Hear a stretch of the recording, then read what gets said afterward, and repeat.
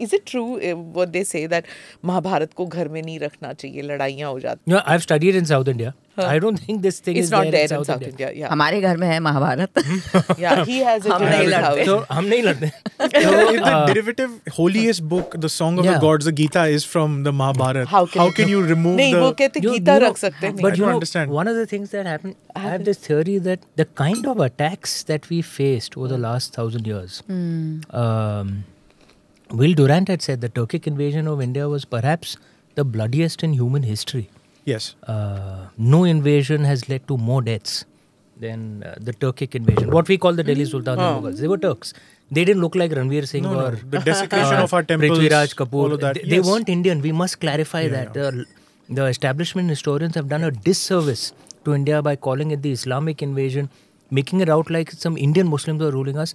The Indian Pasmanda Muslims were as oppressed uh, at that time as the Indian Hindus. We are very clear that the British were foreigners. Even in our movies, we'll show them as white speaking English. But we'll show the Turkic invaders as Indians speaking Urdu. Arey, Urdu is our language. It wasn't their language, right? Their language was Turkic. Anyway, but coming back, this invasion was so brutal, and and the British uh, invasion was much more insidious, much more intellectual.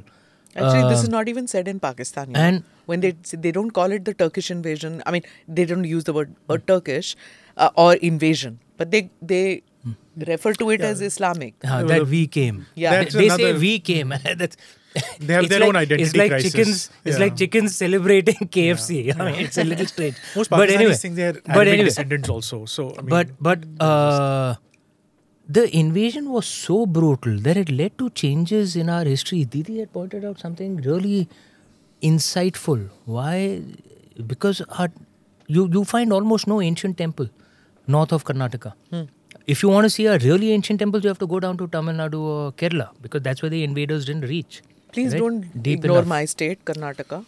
But, but the Hoysala, the great Belur, Yeah, temples were attacked. Yeah, they were. Right? Correct. Uh, and they were among the most beautiful temples on earth. Right? Yeah.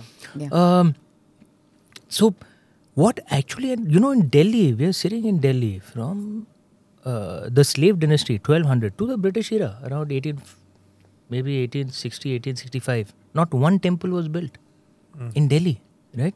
Uh, you find no ancient freestanding temple in North India. You will only find ruins because they were all destroyed, right?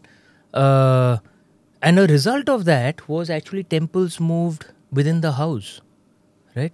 It's not so common in Tamil Nadu or Ke- or Kerala in ancient Yeah. times because the only place we could keep our temples safe was in the puja ghar at home.